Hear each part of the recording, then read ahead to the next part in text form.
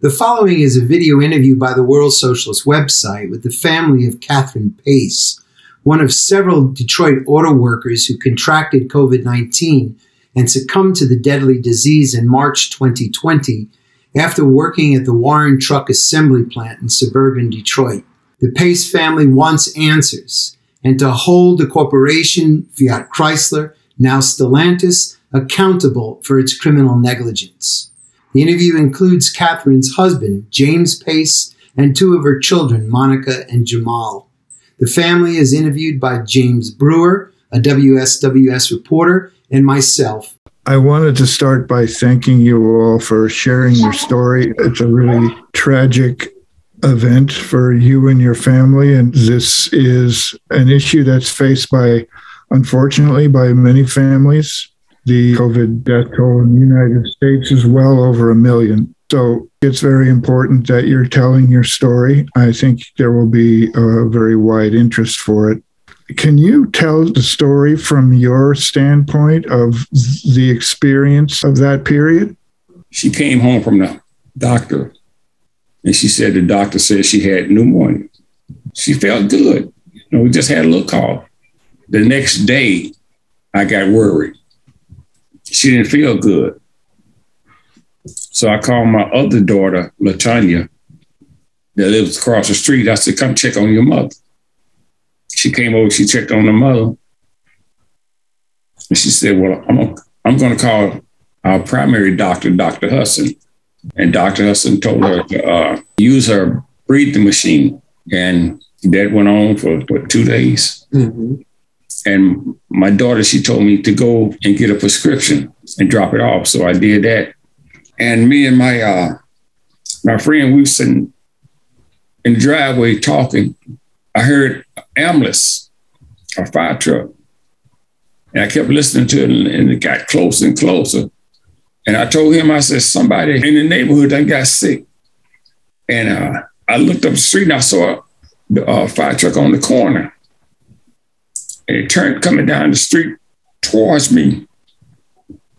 And I, uh, I, I looked at him. I said, dog, it's somebody in this block. And they came over and went in the house. And you I passed one of the the technician going out the door. And when I came back to the dining room, Tanya, she said, she gone. I said, what they they took out the side door? She said, no, daddy, mama gone. I said, Tanya, what you mean she gone? She said, mama dead.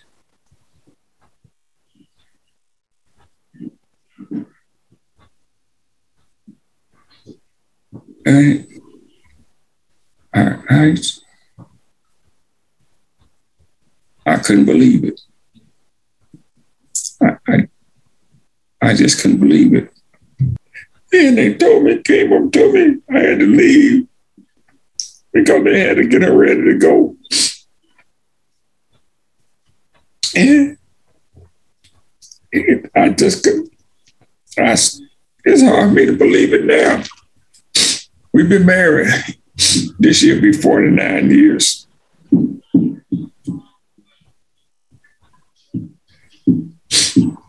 So you had no preparation that she had a serious uh, Ill- illness. I didn't have a clue. No, we had no indication, just besides like everyone else, just keeping up with the news. And that prior week, um, when they mostly started talking about it around that 17th, that was her actual last day at work because on the 18th, they called them off they sent them a message all out to not to return back to work. So the 17th of March was her last day. Her union steward passed on the 25th, and then she passed on the 27th of March, and both of them worked in the paint department. By April, they had at least 17 that was supposed to have passed in the paint department. Jesus, incredible. Yeah. And one of the girls that was, uh, I knew that worked with my, my wife, she kept me up informed. She still keep me up informed about what's going on. And she had called me and told me about the other people had passed in that department. They don't know what they're going to do if they're going to walk off or just keep trying to work. I told them, I say, do what's best for y'all. If you feel this is endangering your life, like, like my wife's, walk off. Because it, your life means more than that job do. And it was like a lot of people that didn't didn't even go back. That was in May. Right. That was when they were all forcing them to go back in May. Yeah. Because I know some people that was even they took every opportunity they can to not to go back in the plant because even if their department was next to the paint department, they were next to be forced to be switched over to the paint department because they were short staffed. Mm-hmm. So there was at the options of you either go be transferred to the paint department or you lose your job. Wow. Yeah. And a lot were still afraid to even go that worked in the paint department. And, and I think it's a lot with the ventilation. Mm. It has to be something with their ventilation system that opts out that they can't control certain things. That's a very important point, Monica. You know that this was the old paint shop. The company has invested, you know, millions in building a new paint shop. But that's a very good point. I mean, why was the center of the spread and the deaths in this paint shop? That's something that, what was the ventilation? Mm-hmm. You know, presumably they're more concerned about, you know, the paint on the cars than they were about the uh, the lives of the Yeah. workers. I understand Catherine was getting ready f- for retirement. Is that right? Yes. She was due to retire in June. And how many years did Catherine have inside the? Um, I think it was like 15. She went there 2007, I believe. Mhm, Yeah, because she started as a temp and she accepted an offer for full time. mhm, And she was over, I think, since 2007. mhm. How did you get your information about how many people were getting infected and the conditions inside the plant? Were you informed? It was Uh, um, social media. Um, a lot of it was a lot of the Chrysler employees that was connected to us. Um, a lot of her coworkers that knew us that still communicated with us during after her death. They would notify us on things. Um, like I said, social media, the news, because it, it had gotten to where I don't watch the news. And especially during that time, I had to tell my dad, can you please stop watching? Because every, every day he's keeping up with the number of deaths. Mm. And he's like, well, you know, Cat was uh, death number 675. And he's like, now they're at nine, you know, 730 now. And I'm like, you just going to wear you out, Mm. you know, but being able to see it on social media or as I said, on the news or just by people that are working at, at the actual plant. There's uh, evidence um, directly uh, that President Trump had had a discussion with the president of China, who explained that how deadly this disease was, and that it traveled through the air, through airborne particles. Mm-hmm. Kind of like you know, if like smoke remains in the air, well, Mhm. these particles of COVID remain in the air for a, a substantial amount of time. The major way to um, prevent the transmission is to prevent a situation where people are close, working close enough with each other, you know, especially a factory where Mm-hmm. workers have to shout over the sounds of machinery and that casts that casts the airborne particles even even further Mm-hmm. so the government was aware, not only Trump, but the, the, they briefed the, the US Congress, the Democrats as well as the Republicans. They were aware as early as uh, February how this disease was uh, fundamentally transmitted. Yes. And yet they kept the factories open, they kept the schools open Right. That's right. because they were concerned about keeping production and profits. Mm-hmm. Mm-hmm. Mm-hmm. And the timeline is very important because it, there was a walkout at the Windsor Chrysler plant on March the 12th. Then on March the 16th, the workers at the Warren truck paint shop walked out. Mm-hmm. You said that Catherine, the last day of work was the, the the 17th for? Yeah. Yeah. Mhm. Well, that very day on the 17th, the workers at the Kokomo Tipton plant stopped production. And that very night, the UAW was discussing with management not the clo- not the closure of the plants, but rolling closures. That is just partial, limited closures. Of course, Yes. you know, COVID doesn't it doesn't care if it's you know you shut down on a Tuesday and Wednesday. It's going to be back on a Thursday. It's going to roll right with you. It's going to roll right with you.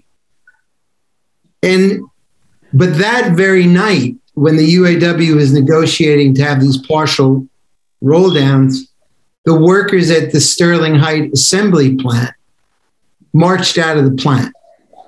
I had someone that worked at that plant at that time, and they got transferred to Warren. Right.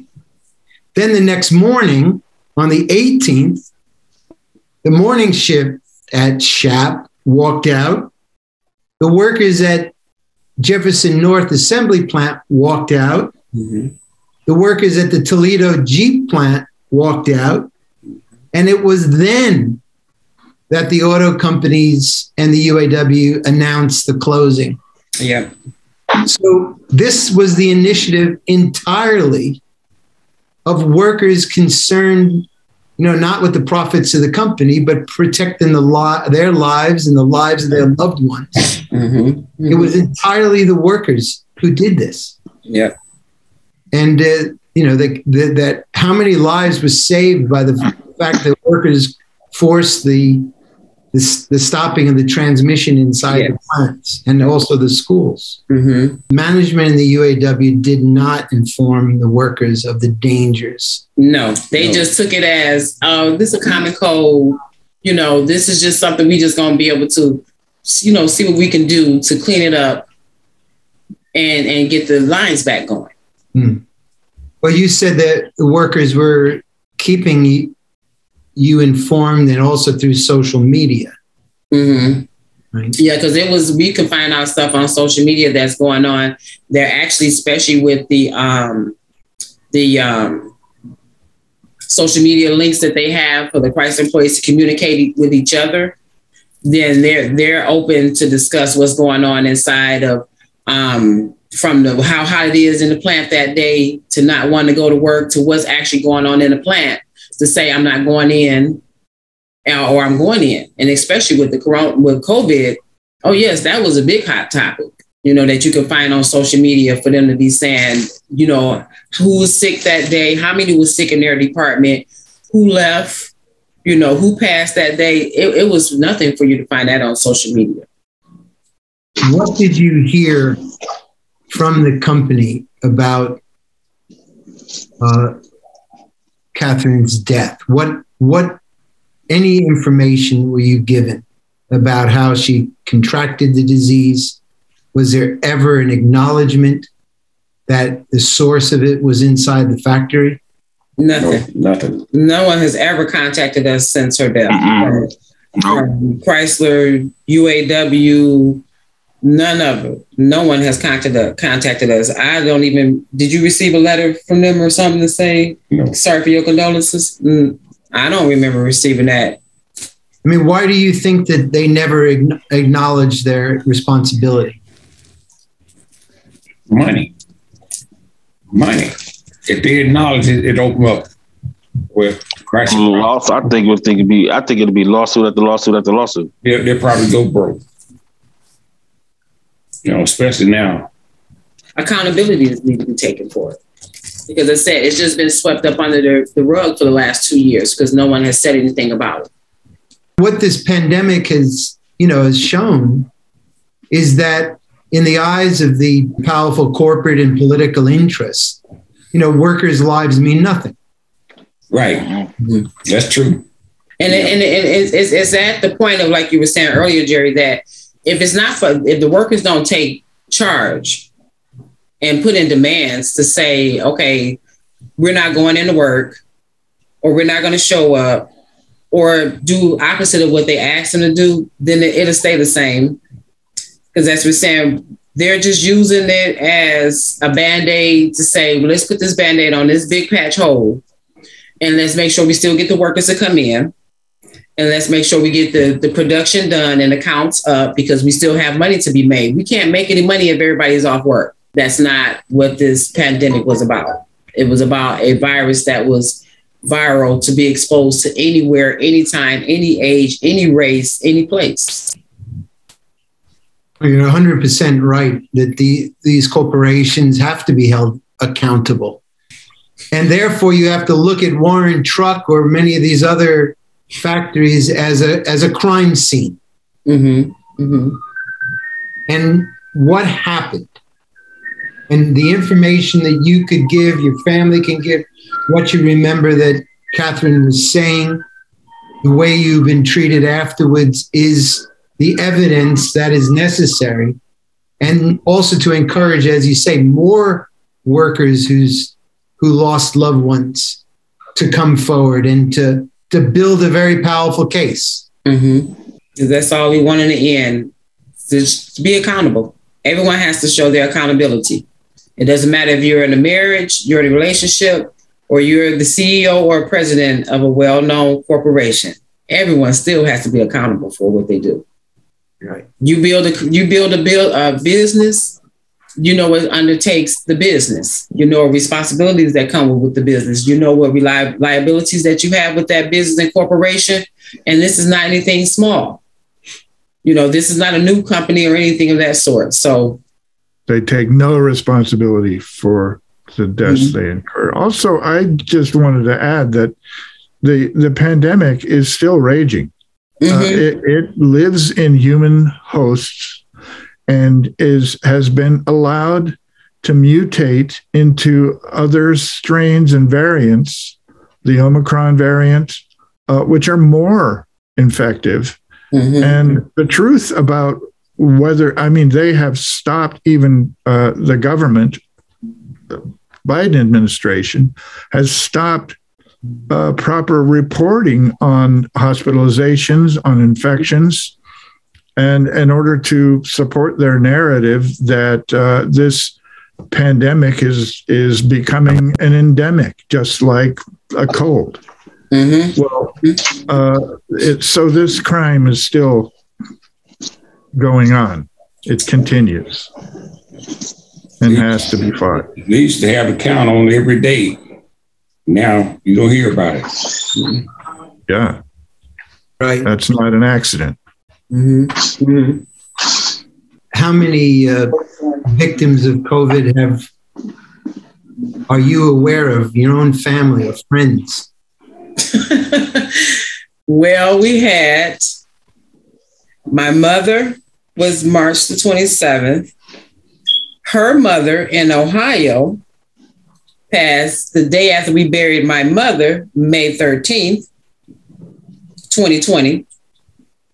Her mother contracted it in Ohio and she went through the whole phase of the ventilator and all for 37 days in the hospital. They did a clap out for her, and the next day she passed from COVID. Then her sister in the same household in Ohio was in a hospital for 15, 17 days during that same time in March and April. Um, I tested positive. My sister tested positive. Um, and the crazy thing, my dad and my mother lived in the same house together. He tested negative when she passed. He tested negative, and she was positive. No, so it's it's it's been close family and friends, at least 10 in, in 2020. My, I lost my, my other sister in law down in Arkansas, Eugene's wife. Mm-hmm. My brother's wife, she died from it. They had did a um like a memorial thing for like the when it first first happened. oh yeah, in August on uh on Belle Isle. Yes. And mm-hmm. it was like we did the little road around all the way around. They had big pictures of everybody with their name on their big pictures. It was it was people on there. I was looking at like, dang, I didn't know he dead. I didn't know she dead. Yeah. Like, oh, I said I lost count. And, and that was that was August of 2020 when they did uh-huh. that drive through through Belle Isle, and Wow. In August, it was at least 50 Chrysler employees that was out there. Wow. Yeah. And it was like it was like pictures like the whole almost the whole uh, mm-hmm. Well, w- one thing we haven't asked about is you to paint a picture of your uh, of Catherine. And what was she like? What what was what did she love? What uh, what kind of person was she? She was a, a humble person. She was strong. Everybody loved her because she always, you know, smiled. Everybody loved her smile. She stepped up when I got sick. She took care of everything. She was just a beautiful person. The Lord blessed me to have her for almost 50 years. And I'm, I'm I still got it. I'll always have it in my heart. And I tell everybody, we still married. We never got a divorce. And that's my wife. And I'm gonna keep on counting the years as long as I'm alive. Amazing cook, amazing person. Mm. You know, and it was just like she was everything, everything that a son or a daughter can ask for as a mother. She was awesome. She was known as Miss Cat. Miss Kitty Cat. Like I said, all she did was ever smile. Um, she was there for everybody, her co-workers. As we said in the other article, she would bake cakes. She sold cakes and made cakes. If it was somebody's birthday, she was at the at the plant making sure they had a birthday party. She was a loving mother, a wonderful grandmother. She had a granddaughter that she'd never met. On the day she passed, her daughter-in-law and my brother was going to tell her that they was pregnant. And that daughter is a year and a half now, so she never got a chance to meet her. She's a woman that will never be forgotten. She's a woman that we would never let her legacy go. And that's why I would not stop until Chrysler answers me to Chrysler. Until Chrysler acknowledges they're wrong. Because she was not just a body. It was too many days that I seen this woman still smiling, body hurting, and, and still will go and make it there to get to work you know, weekends, holidays. She was there. She did it. And for them to come at the end and not acknowledge her and not be accountable, just to simply say, yes, it, it was there. I, I yes, Corona was here. No flowers, no, no. cards, nothing for the funeral, nothing.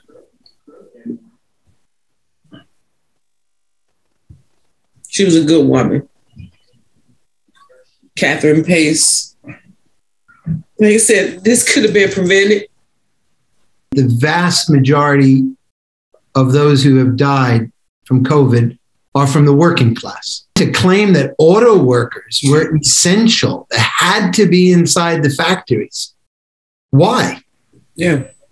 they were. I thought it was essential to be living. Right. Mm-hmm. For them, it was essential to make profits. The main way workers have been kept atomized and separated is by the concealing of information, mm-hmm. which workers have tried to overcome through social me- media and, and so on. We have a newsletter, which we call the uh, Auto Workers Newsletter, the World Socialist website, Auto Worker Newsletter. It's very well known at the at the factory gate. That's what I heard when I asked one person. I said, "Have you ever heard of WSWS?" They was like, "Oh yeah." The Chrysler tries to tell us not to communicate with them. The union tells us not to communicate. Don't leak out anything to them. I said, "Thanks, you you helped me just by saying that." That's what Sharice told me. too. Yeah, She yeah. They said that the Chrysler warns them, threatens them That's right. not to speak, not to give any information to you. I said, thank you so much. It seems that um, many, many, many other workers need to tell their stories. What would you say to you to the other Chrysler workers just to encourage them to do that? Now I would ask them to just come and step forward with us, that we can get more of us together that can show to prove that it's not us just talking about it, it actually happened. And we need accountability to be taken. That's right. Because if there's no accountability, they'll do it again.